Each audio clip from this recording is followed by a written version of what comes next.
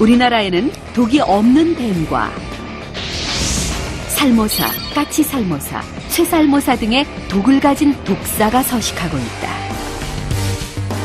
겨울잠을 자는 뱀은 가을철에 필요한 양분을 섭취해야 한다. 때문에 1년 중 가을에 가장 많은 먹이를 잡아먹는다. 그러다 보니 이 시기에 먹이를 찾아 나선 뱀을 종종 목격하게 되는데 최근엔 도심 한복판까지 출몰하는 경우도 있어 주의를 기울여야 한다. 위험한 커플은 어떤 위험한 행동을 한 것일까? 첫 번째, 나뭇가지로 뱀을 자극한 것이 뱀에 물리게 된 이유. 두 번째는 뱀에 물린 후 괜찮겠지 하는 아니란 생각으로 방치한 것이 더 큰 화를 불러온 이유다. 만약 위험한 커플처럼 뱀을 만나게 된다면 어떻게 해야 할까? 실험을 위해 파충류 생태 연구소를 찾았다. 도움을 받아 독이 없는 누룩뱀과 독사인 살모사를 준비했다. 일반적으로 독이 없는 뱀은 머리 모양이 둥글고 가늘다. 그렇다면 독사는 어떤 모양일까? 독사는 머리 모양이 삼각형이다.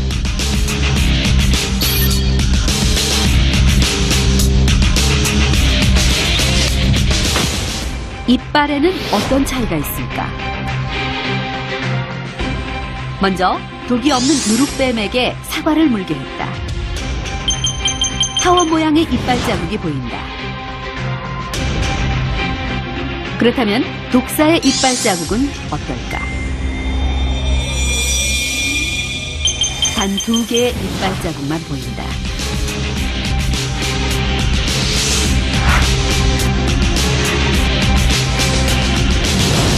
다행히 뱀은 위협을 가하지 않는 이상 먼저 사람을 공격하거나 물지 않는다고 한다. 정말일까? 안전벽을 세운 후 먼저 독이 없는 뱀을 풀어놓았다. 그리고 실험 인형 안전이를 중심에 두었다. 안전이가 요란하게 움직인다. 한 마리의 뱀이 움직이는 안전이에게 관심을 보인다.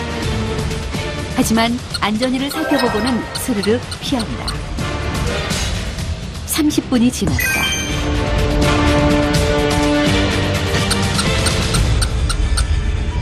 뱀들은 구석에서 꼼짝하지 않는다. 그렇다면 독사는 어떨까? 안전이 앞에 독사. 움직이지 않는다. 그런데 그때 갑자기 안전이를 공격하는 독사. 안전이가 쓰러졌다. 괴롭다는 듯 안전이가 발버둥을 친다. 그때 또 다른 독사가 다가와 2차 공격을 퍼붓는다. 독이 없는 뱀은 어, 사람을 보면 도망가는데 독이 있는 뱀은 자기가 맹독을 가졌기 때문에 도망을 안 갑니다. 가을뱀은 더 위험하다. 도망가는 게 상책이다. 뱀은 무슨? 자기 발냄새 때문에 오던 뱀도 도망가겠다. 발냄새는 무슨? 혹시 나추남 씨의 발냄새가 뱀을 부른 것은 아닐까? 발냄새가 많이 나는 제작진의 신발을 뱀이 있는 안전벽 안에 놓고 관찰해 보았다. 오호, 뱀이 관심을 보인다. 무척 편안해 보인다. 다른 뱀도 기웃거린다. 뱀은 냄새나는 신발을 좋아하는 걸까? 뱀애 같은 경우는 이제 약간 어둡고 습한 곳을 좋아해요. 사람이 신발을 신고 있다 벗게 되면 약간 온도도 높고 습한 기운도 남아 있기 때문에 그 안으로 이제 뱀들이 많이 몸을 숨기는 경우가 있습니다. 안민여 씨의 휘파람이 문제가 된 건 아닐까? 그 휘파람 불면 뱀 휘파람을 불어 뱀의 움직임을 살펴보기로 했다. 오, 잘 분다. 그런데 뱀은 반응이 없다. 뱀을 부르는 다른 소리는 없을까? 아하, 어릴 적에 본 만화에서는 피리를 불면 뱀이 춤을 췄는데 그렇지. 이번에는 피리를 준비했다. 뱀을 위해 심혈을 기울여 연주했다. 그런데 반응이 없다. 피리를 크게 불었다. 역시 반응이 없다. 피리도 불고 노래도 불러봤지만 뱀은 미동조차 하지 않았다. 소리에는 관심이 없는 걸까? 뱀의 경우에는 이제 청각보다는 이제 후각이나 이제 열을 감지할 수 있는 기관이 있기 때문에요. 인도 같은 데서 피를 불면서 이제 그 피를 부는 사람의 동작이나 땅을 울리는 진동에 의해서 이제 머리를 세운 거지, 어, 소리를 듣고 머리를 세우거나 반응하지는 않습니다. 야, 야, 야! 뱀에게 물렸을 경우 일단 사고 지점에서 벗어나고 119에 신고해서 구조를 요청합니다. 뱀을 자극할 수 있는 행위는 절대 금물입니다. 휘파람 때문도 아니었고 발냄새 때문도 아니었습니다.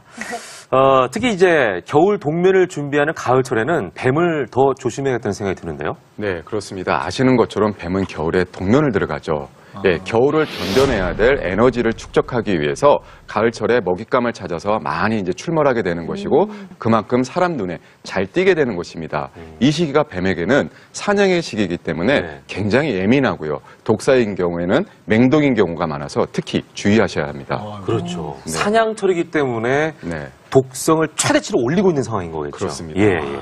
자, 이 뱀에 안 물리고 피할 수 있으면 좋겠지만 물린 경우에는 어떻게 대처해야 될까요? 응급의학과 전문의 김건배 선생님 모시고 알아보겠습니다. 어서 오십시오. 안녕하세요. 네. 어, 아까 김일선 씨, 안민여 씨가 독사에 물린다면 굉장히 괴로워했거든요. 네. 일단은 그 뱀 또는 독사에 물리면 어떤 증상들이 나타날까요? 예, 다행히 뭐 일단 우리나라에는 외국에 비해서 아주 치명적인 독사가 있지는 않습니다. 근데 독사에 일단 물리게 되면은 음. 국소적인 조직 손상이나 그다음에 거기 용혈 현상, 그다음에 심한 경우 대량 출혈이 발생할 수 있고요. 또 신경학적 증상으로는 어지럽거나 음. 실신하거나 이러실 수도 있습니다. 어, 무엇보다 제일 중요한 것은 증상이 심해지면은 네. 어, 생명이 위험에 처할 수도 있는 상황이 올 수 있기 때문에 예, 주의하셔야 합니다. 아, 그리고 선생님, 저희가 알기로는요, 그 뱀에 물렸을 때 입으로 흡입해서 그렇죠. 독을 빼주면 네. 좋다. 네. 뭐 이런 상식을 갖고 있는데 네. 좋은 방법인가요? 심지어 우리에게 독 빼다가 사랑에 빠지는 경우도 있잖아요. 영화에서 한. 번씩은 네. 꼭 나오는. 아, 예. 주변 사람이 물린 부위를 절개하거나 아니면은 입으로 흡입하려고 하는 경우가 있는데요. 그런 신 절대 안 됩니다. 예, 오히려 위험할 수 있고요. 네. 예, 뱀에 물리게 됐을 때는 어, 빨리 119에 신고를 하고 병원에 방문해서 필요한 경우에 항독소를 투여를 받는 것이 제일 중요합니다. 그럼 선생님 만약에 뱀에 물렸을 때 독이 안 퍼지려고 이렇게 꽉 묶어주잖아요. 그런 방법은 어때요? 아, 그것 또한 이제 잘못된 상식인데요. 아, 예. 아. 뱀에 물렸을 때는 어, 혈액순환이 완전히 막힐 정도로 꽉 묶어서는 안 되고요. 넓은 천 같은 재질로 한 음. 물린 부위에서 한 4, 5cm 위 정도를 손가락이 부드럽게 움직일 수 정도로 묶고 아. 어, 그 정도 유지를 해야지. 그리고 너무 빠른 활동을 하지 않아서 그다음에 독이 빨리 퍼지지 않도록 하는 것이 제일 중요합니다. 자, 가을 숲에 도사리고 있는 위험, 뱀, 특히 독사에 대해서 우리가 살펴봤는데요.